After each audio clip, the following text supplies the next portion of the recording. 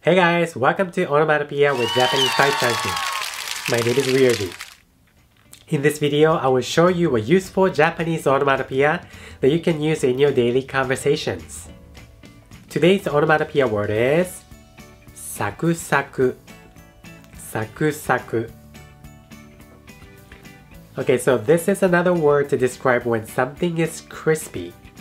Okay, so I have two other videos, kari kari and pari pari.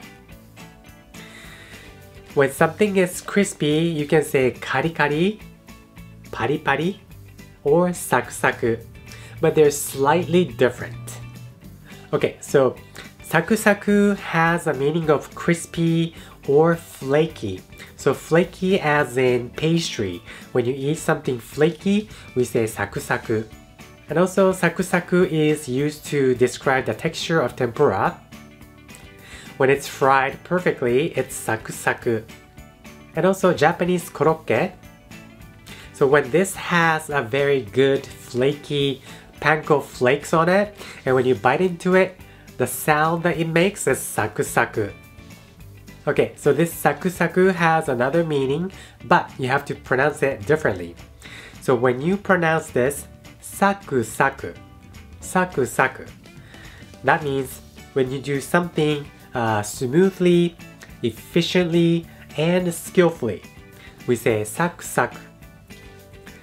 新しいコンピューターはさすがにプロセッサーが速く仕事をサクサクこなせる。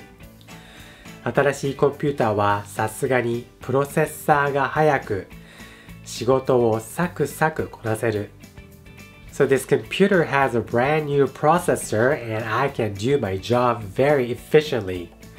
So this brand new computer has a new processor and I can do my job very efficiently. 彼は仕事をサクサクする。彼は仕事をサクサクする。So he does his job very skillfully. He does his job very skillfully. Okay, so that's how you use サクサク and サクサク。